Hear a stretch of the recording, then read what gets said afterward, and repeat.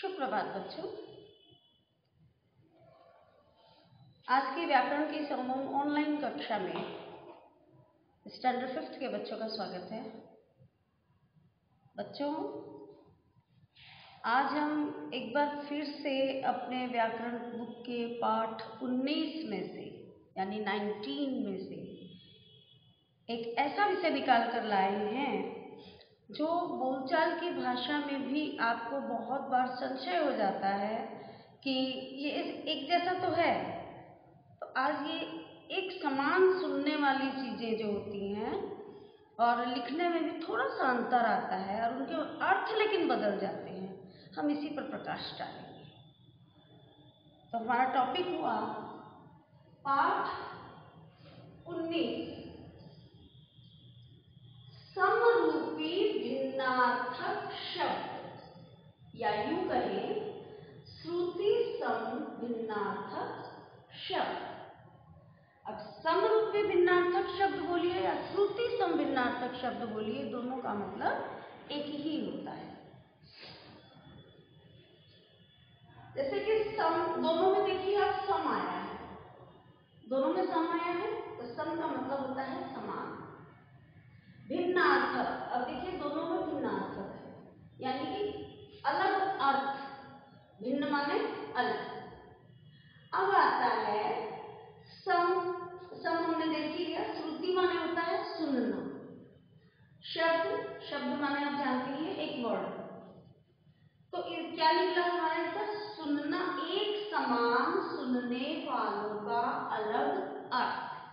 तो हम इसकी परिभाषा कैसे बना लेते हैं कि जो शब्द जो शब्द सुनने में एक जैसे लगते हैं, किंतु उनके अर्थ में भिन्नता होती है।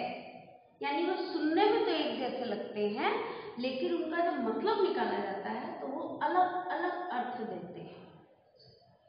दूसरे शब्दों में हम ऐसे भी कह सकते हैं कि कुछ शब्द ऐसे होते हैं, जिनमें स्वर, मात्रा और व्यंजन।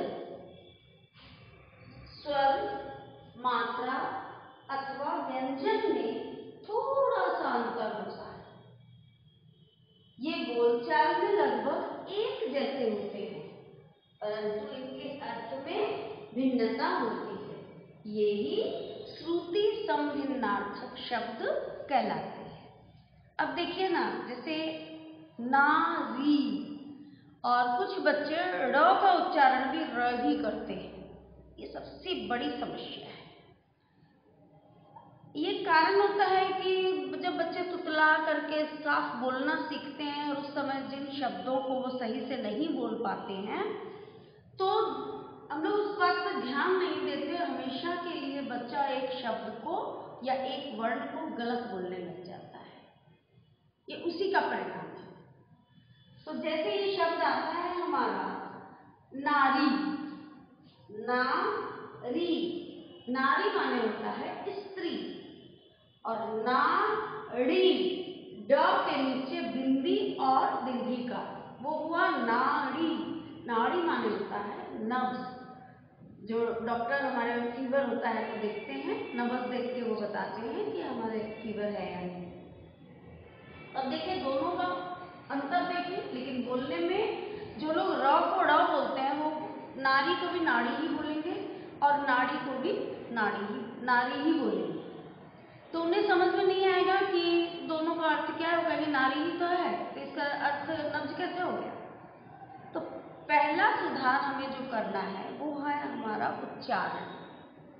हमारा उच्चारण यदि गलत है तो हम कभी भी उस अर्थ को क्लियर नहीं कर पाएँगे कि दोनों अर्थों में, दोनों शब्दों के अर्थों में भिन्नता है।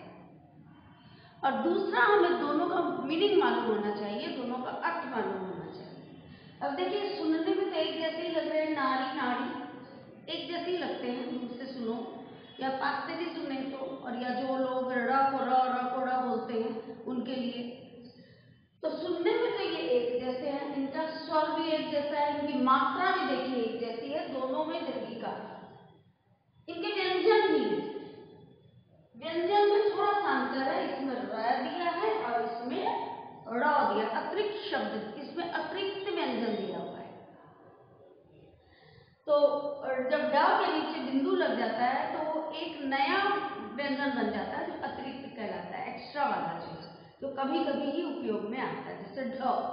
ढ के नीचे जो बिंदु लग जाता है, और आप जब चचा ढ पढ़ते हैं टवर्ग में जब आप पढ़ते हैं तो उसके नीचे बिंदु नहीं रहता है। लेकिन जब अतिरिक्त शब्द होता है अतिरिक्त व्यंजन बनता है, वर्ण बनता है, तब उसके नीचे बिंदु बनता है। अब ये बिंदु, जिसे आप जब किसी व्यंजन के बाद, किसी व्यंजन के बाद आप इसका प्रयोग करते हैं, ढ का, तब उसके नीचे बिंदु लगता है। लेकिन ढ से स्टार्टिंग में, आरंभ में ही यदि ढ लगा है तो उसके नीचे बिंदु नहीं लगता।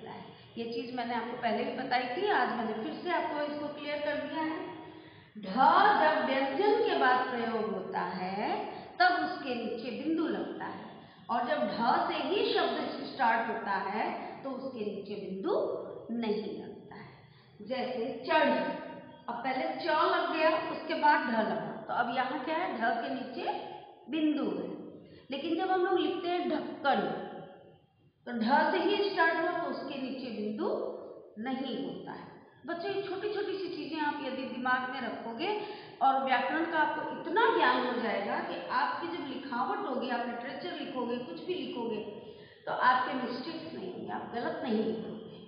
और उसे फिर उच्चारण भी यदि आप सही करोगे तो आप सही ही लिखोगे। इसलिए आप जो कुछ भी वो हिंदी हो या इंग्लिश हो, जो भी हो, उसमें आप अपने उच्चारण का ख्याल पहले कीजिए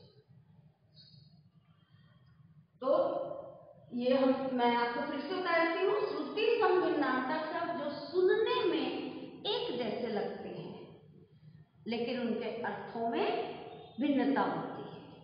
लिखने में भी उनका स्वर, उनकी मात्रा और उनके व्यंजन में थोड़ा सा फ़र्क होता है। अब हो सकता है किसी में छोटी ही लगी है, किसी में बड़ी ही लगी है, लेकिन है तो ई की ही मात्रा। देखिए, मैं दूसरा शब्द बोलती हूँ। जैसे कली। ली। अब इसमें देखिए दीर्घी का अभी हम लिख रहे हैं कली। कली। बोलने में तो दोनों कली ही कहा गया। कली तो हमारा उच्चारण से आप पकड़ सकते हैं, जब दीर्घी कार है तो हम ज़ोर लगा के बोलते हैं। कली और जब हर्षिकार है तो हम बोलते हैं कली। उसे लाइटली बोलते हैं सॉफ्टली बोलते हैं, बहुत हल्के से बोलते हैं। और जब बड़ी की मात्रा या बड़ाऊ की मात्रा जहाँ भी दीर्घ हो जाता है तो हम उसमें थोड़ा सा ज़ोर लगा बोलते हैं। तो अपने उच्चारण से समझ में आ जाता है, कली कली। तब आप इसके अर्थों को पकड़ सकते हैं।